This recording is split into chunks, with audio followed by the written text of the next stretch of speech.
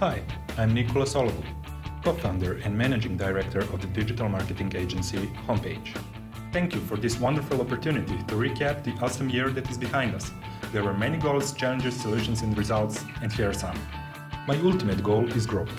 Twice the agency size, number of employers, revenue, and the number of clients. From having 15 employees in August last year, we came to 34 at the moment. Our goal was achieved with new recruitment, internship, and personal development programs.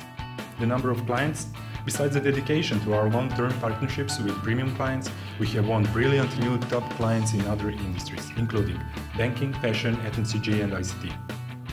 My second goal is international business development.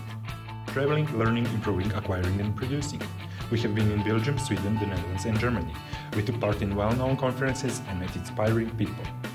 Our work can be found across Europe and North America. It is also recognized and awarded by influential and well-known societies, magazines, and corporations. We create success stories, and they are all digital. The third goal is R&D. It is challenging to balance short-term client service with long-term innovation programs. And we do it. We have introduced new services and products.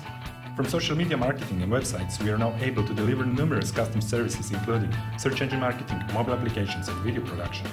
Our social media wall is recognized as a premium solution for events, websites, banners, and now it is heading towards new concepts such as digital out-of-home and even TVC. The icing on the cake is that I can announce the next big thing. I have resources dedicated to a brand new startup. The team will pitch this autumn, so please stay tuned. To sum up, in the last year, I managed to create a sustainable and scalable digital marketing team. We work digital, think digital, breathe digital. Pick me.